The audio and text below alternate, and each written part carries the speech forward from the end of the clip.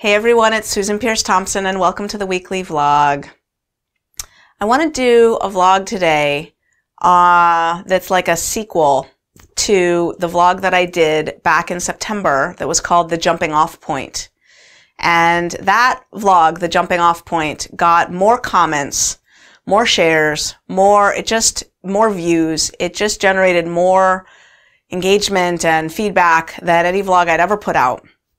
Um, if you saw it, you know what I'm talking about. If you didn't see it, it was um, super emotional and it was about some struggles that I'd been having in my marriage and about a point that I came off came to where I was um, thinking that I was ready to end my marriage, and um, that didn't happen. My husband and I reunited, and I talked about how that relates to the bright line eating journey in terms of reaching a point where you you realize that what you're doing is not working with food and you're ready to jump off into the unknown into some kind of other future. And that's where david and i came to in our marriage where we really um, were ready to jump off the ledge into a more deeply connected, more profoundly fulfilling relationship. And I'm happy to say that, that we've done that and it's, it's awesome.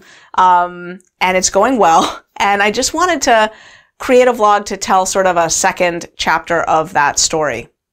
So, um, one of the things that I talked about in that old vlog um, was uh, some of the ways that I had been dissatisfied in my marriage, and I talked about um, feeling like I was asking it for and needing uh, more connection, some verbal um, praise and compliments and things like that. I told this story about how in the past I'd asked him for a compliment and he hadn't given me one. And um, anyway, I think it created the impression in some people that um, my husband is some kind of um, ogre or something. Someone in the in the comments wrote anyway. Not not many people actually. I think a lot of people wrote in saying that they felt really bad for David after hearing that vlog um, because um, yeah, because he's a sweet guy.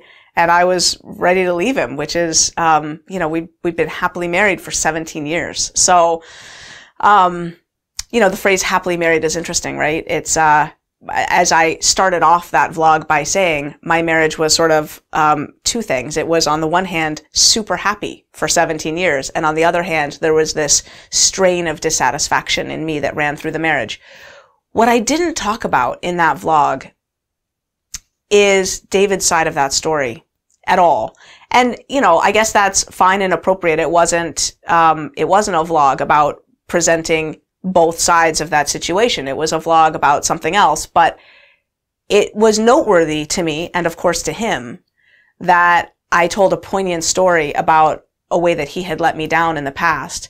And there are poignant stories about ways that I have let him down in the past, and none of that got any airtime. And one of the especial wounds that has existed in our marriage for David is that he has chronically felt discounted, not heard, not seen, not factored in, of lower importance than other things. And I have created that feeling in him over the years, systematically, slowly, not meaning to, but absolutely doing it. And, um, an example of this, it was chronic. An example of this is for my 40th birthday, I decided that I wanted to climb Half Dome. This was another one of my morning meditation uh, visitations. I was in my morning meditation. It was about six months before I was about to turn 40. And it just came to me in my morning meditation, climb Half Dome for your 40th birthday. And I decided I was going to do it. And I talked on the phone with a bunch of friends and I invited a couple friends to go. And I never talked to David about it. I mean, for a couple days, for a few days. I had invited other people. I never mentioned it to David. He heard about it as I was in the kitchen preparing dinner and talking with a friend and inviting her.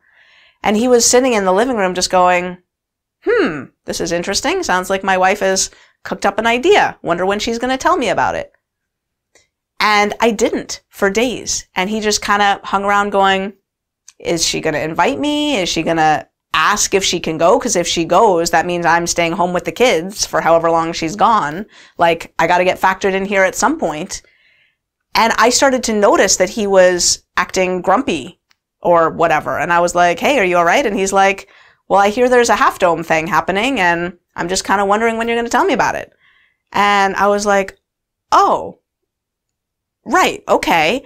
Um, and at that point, some time had passed and he was feeling pretty like, yeah, like, uh, left out. Hello.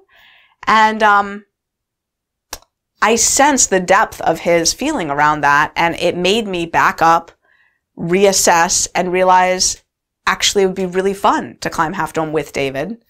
And so I invited him and we went and it was wonderful. But that long chunk of time where I didn't even think of him was an example of the systemic ways that I had placed all kinds of things in my life above him and was just not giving him pride of place in my life. And within that context, he, who's very much a man's man, wasn't feeling psychologically safe to traverse uncharted, uncomfortable psychological waters to learn how to express, you know, emotions, gratitude, appreciation in ways that were foreign to him. Like, like why in that context when he can tell that he's sixth, seventh, eighth on my list of priorities, would he stretch himself to shower me with affection? Um, and so we created over the years this sort of downward spiral where I wasn't giving him pride of place in my life, making him feel very left out and discounted. And within that environment, he wasn't showing up to appreciate me or, or, or, or have deep conversations with me. And because he wasn't showing up to have deep conversations with me, and that's sort of the, the fabric of my life, I was having all my deep conversations elsewhere, which was making me more connected to other people, more um, seeking my fulfillment outside of the marriage, which again put other people, other things in the top spots of my my priorities because that's where I get my my juice is deep connection and I wasn't getting it in my marriage and I'd asked him for that and he wasn't ponying up so I was getting it elsewhere. But in that context again downward spiral why would he show up for that when I'm hardly giving him the time of day and leaving the house and, you know, barely telling him where I'm going, you know? So we had created an environment in which we were really skillfully running a household together, raising kids together, but really too distant and not deeply connecting. So there was a lot that I was contributing to that and a lot that he was contributing to that. And after our marriage came to a head around Labor Day last year, in late August and then, and then right around Labor, not last year, this year, a couple months ago, um, after that all came to a head, we had to look at like, how did we get to this jumping off point? And what do we want to do now? And David was the one who stepped up and said, I don't want a divorce. I want to be with you. I want to be with you. I want to be with our daughters. I want our family above all else. And I will do whatever it takes. And he has ponied up on that. So now every single night we have a connection ritual that has four components to it. The first thing is we say prayers together. He says a prayer. I say a prayer. The next step is we talk about what went well that day. And this is a very famous gratitude exercise that I've already talked about in this vlog just recently, um, the day before Thanksgiving, about what went well, looking at the good, systematically finding the good. And if we didn't spend all of the day together, we get to hear about some of the things that the other person did that day that went well. Then we appreciate each other. We just look eye to eye and we say things like, I appreciate that you gave the kids a bath tonight. I appreciate that um, you took my car to the shop. I appreciate that sweet kiss you gave me earlier because it was so tender. You know, I appreciate the conversation that we had earlier. I really needed to talk. I appreciate, I appreciate, I appreciate. We just go back and forth until we've exhausted everything we can think about. And then we take out a journal and we write the date and we write, what do I want? Question mark. And we do some visioning work about what we want. Big things, little things, not necessarily material things like um, just what we want in our lives together, just building a future together. What do we want in this world? There's so many choices, options. What do we want? Every night we do that. We have not missed once since Labor Day. I'm not even kidding. So one of the things that was in that vlog of the jumping off point was I was talking about my attraction to other people and how that comes really naturally to me. It always has. Um, I was um, super into, I was boy crazy from a very young age, super into relationships, very promiscuous in my teenage years. Of course, if you know my story, you know there was a lot of drugs and alcohol in the mix. That fueled that for sure. Um, but I think it also came naturally to me. I've always been super extroverted, super flirty, super playful, and um, yeah, and promiscuous. And then I got married in a monogamous context, and um, my husband reminded me that um, I think we weren't quite married yet. We were in an airport somewhere. Apparently, we were in the Chicago airport um, or somewhere, and um, and I told him I don't think I'm going to be able to do the the faithfulness thing. I'm probably going to go on a trip sometime and sleep with somebody. Like just so you know, um, I I can't picture myself really being faithful forever. Um, that's going to be a hard one for me. So so I told him like he had fair warning. Um, man, I was doing my best, right? Just in this monogamous marriage, and what came out this past um, summer was I think I might be polyamorous. Like I think I might be wired to not feel fulfilled on the deepest level unless I'm having relationships with multiple people. That's not a popular thing to say publicly, but I'm saying it. Like I, I was really suspecting that that might be true for me. And here I am in this monogamous marriage. So all of these things came out over Labor Day as, you know, I think I might be polyamorous and I don't, not sure that I want to be married to you and I'm deeply unhappy in this relationship and blah, blah, blah. So what David said was, I want to be married to you. Full stop. And polyamory scares me. Let's put that into the future for now because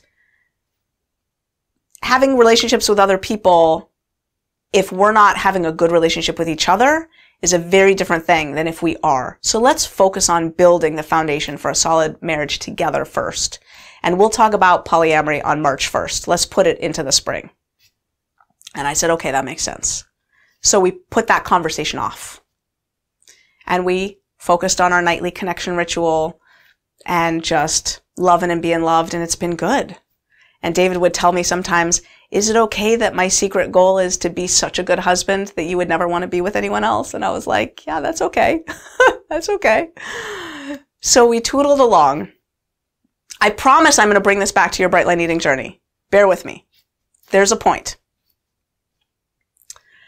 So we hired a coach to work with us. We didn't feel like we really needed therapy per se, but we wanted guidance on and like, um, yeah, a witness and a guide, someone to work with us on crafting an awesome marriage. So we hired a coach, amazing coach, and um, and our coach gave us an assignment, which was to give each other each three gifts in the two weeks before we met up with our coach again.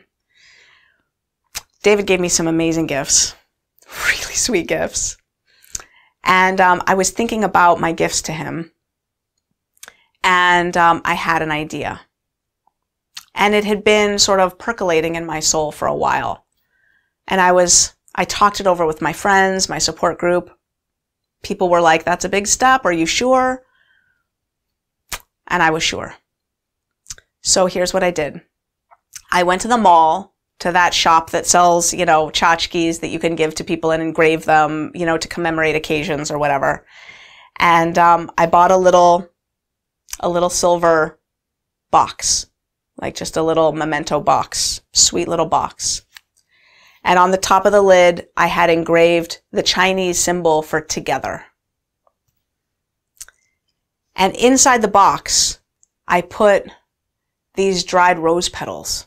Let me tell you about these dried rose petals. When we got married, there was a woman in our faith community that went all the way to the Holy Land in Israel and kneeled at the gravesite of the prophet who founded our religion, Baha'u'llah's gravesite. And she put her nose to his grave and she laid roses on his grave, the threshold of his grave. And she prayed for our marriage. We were getting married. This was 1999. And she was in Israel in the Holy Land. She prayed for our marriage. She prayed for it to be long and happy and healthy, and for us to have sweet and beautiful and lovely children, and to grow old and die together. She said all of these prayers for our marriage, and then she took those roses back to America, back to Western New York where we live. She dried the roses, and then she took the petals, and she put them in an envelope, and she gave them to us on our wedding day. And she said, these roses were in Israel at the Holy Land. I've been praying for your marriage and I give these rose petals to you. I'd saved these rose petals in a little box on my dresser all these years, 17 years. So I took half of those rose petals and I put them in this little box. And then right around that Chinese symbol for together, I had engraved monogamously yours. And one night, it was late, we were tired. But something inside me said, this is the time. So I got that box and I gave it to him. And he opened up the gift wrapping and he saw what it said. And I told him the story of those rose petals because that was 17 years ago. I had to refresh his memory of where those rose petals came from. They'd been on my dresser all this time. He'd long since forgotten about all that. And he was, he started to cry. And I said, yeah, we'll just do this monogamously. We'll forget about March 1st. We'll forget about polyamory. I'm all in. We'll just invest here.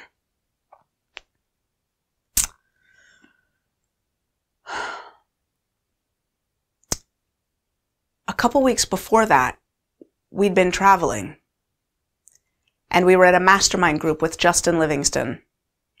Brilliant businessman, entrepreneur, online information guy. He teaches people how to lead workshops and um, seminars and retreats and things like that. But he has a mastermind group um, that's got, I don't know, some 30, 40 people in it who um, meet together regularly to talk about how to spread a message, grow a tribe, you know, do all this stuff that I'm doing here with Brightline Eating just to, you know, get the word out about some kind of special thing that will help change the world. And he's really, really brilliant at it. And he was talking. I always listen really carefully when Justin Livingston talks. He was talking and he said, commitment is an exclusionary process. When you commit to something, by definition, there's other things you can't do. Commitment is an exclusionary process. And um, David and I had been talking about this whole polyamory thing, and we squeezed each other's knees. We were sitting next to each other. And I knew what he was thinking, and he knew what I was thinking. And it was like, hmm. And you know, it's really true. I have never experienced it more than since I started doing Brightline Eating in this big public way. Because my time has become so precious, so crunched, and I'm aware Every time I say yes to a project, I'm saying no to 50 other projects. It's called opportunity cost.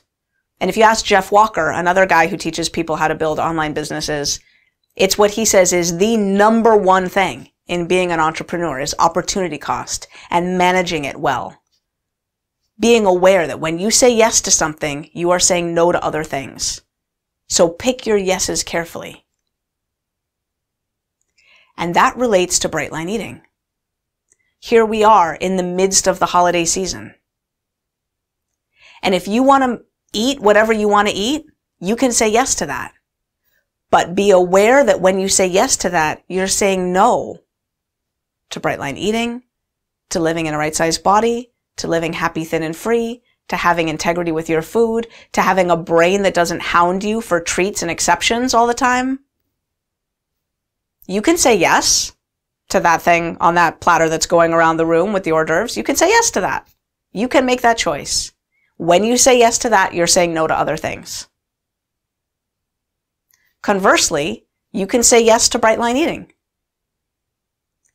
And yeah, that means you say no to those little things that are on that platter going around the room on the hors d'oeuvre tray. Every yes involves a bunch of no's even in the world of polyamory, you can say yes to being with two people. And that means you're saying no to spending every night with one person. Every yes involves some no's. That's just the way it goes. I was coaching someone in Bright Lifers the other day, and she was saying that she had hesitated to get into a mastermind group. In Brightline Eating, a mastermind group is a group, a small group, usually four people that get together usually once a week on the phone on a free conference call line to support each other through their Brightline Eating journeys. In my book, Brightline Eating, the science of living happy, thin, and free. I talk, I have a whole section on mastermind groups. I give a page where I lay out the outline for our mastermind group call. I, I'm in a mastermind group. We do it once a week. We have our call. There's a structured format. I put it in my book. Mastermind groups are a hugely central part of Brightline Eating, of doing it well, of having enough support. And she called in and she said, I haven't ever joined a mastermind group. And I said, why not? And she said, because I'm afraid of the commitment. What if our call is on Monday nights and Monday night comes and there's something else I want to do? Or I just don't feel like being on that call. And I said, well, then you're not in a mastermind group, but you're, you're calling me because you're noticing how you need more support in your program. I said, this is just how life is, honey. Like this is, this is the way it goes. You say yes to having children. That means you're saying no to a whole bunch of free time, you know, that you're going to have to give up to raise those kids. And she said, well, I have kids. I've never had a hard time committing the time to, to raise them. I just have a hard time committing the time for myself. And I said, well, that's kind of interesting point taken. Like that, I think the light bulb went on in her head there. But she was afraid to commit the time. But that's just, that's commitment is an exclusionary process. Absolutely. If you join a mastermind group, that means that there's an hour and a half once a week that you will not be able to do other things. Commitment is an exclusionary process and bright line eating brings that to the forefront. When you say yes to bright line eating, you are saying no to other things. And you have to decide whether that yes to bright line eating is worth it for you. And I can tell you that for me it is. I love going through holiday season, being able to put on a nice dress and feel good in it. I love going through the holiday season, not feeling awful about myself about what I'm doing with food. I love my life in bright line eating. I'm not perfect at it, as you know as I'm very open about. I did some math the other day. I think what I came up with is since I started this in 2003, 96.6% of my days have been perfect, squeaky clean, gorgeous, bright line days. And 3.4% of my days have been not. But I say yes to bright line eating today and I say yes to David Justin Thompson today. And those yeses come with a bunch of other no's. And sometimes those no's are sad. Sometimes we miss other things. You might miss your food. You might need to grieve your food. And I invite you to make space for that grief. Those no's are poignant. There are other people that I'm not going to be with because I'm going to be with David. There are other things I'm not doing because I'm raising my kids. When I say yes to doing the bright line eating business, growing this movement, I have to say no all the time. People want me to explore their products, their supplements, um, partnering with them on this project, that project. I have to say no to all that. I am doing a book launch. My book is coming out in March. We are growing the Brightline Eating Daily Companion, which is going to be the most amazing online platform for connecting people and helping people track and monitor their progress in Brightline Eating. It's going to be an online platform extraordinaire with an app on the mobile phone and a, and a desktop version, the whole nine yards. Those yeses require me to say no to almost everything else. My husband, my kids, growing Brightline Eating, doing my only, own Brightline Eating journey. It's all I can handle. So I invite you to keep in mind for today that commitment is an exclusionary process. Always. When you commit to something, it means there's other things you have to give up. And creating space for the grief and the sadness and the regret about the things you're choosing not to do is helpful. But knowing that you're never going to get where you want to go in life if you choose not to commit to anything. That's no kind of life to live. So pick your commitments wisely and celebrate them. That's the weekly vlog. If you have something you want me to talk about on this vlog, I'm at susan at brightlineeating.com. And I'm doing a lot of TV and radio interviews these days, and the links are getting posted on my professional Facebook page. So we're going to put a link right below this video right here that's to my professional Facebook page. If you like that page, then links to my interviews and stuff about how to navigate through the holidays. Coming up here soon, we're going to have New Year's Eve and January 1st. I'm going to be doing a lot of radio and TV interviews on goal setting, on the science of goal setting, on starting the, the new year right, etc. If you want those things to show up in your Facebook feed, go like my page and you'll get access to all of that free content, all of those radio interviews, etc. So go like my Facebook page and I'll see you next week.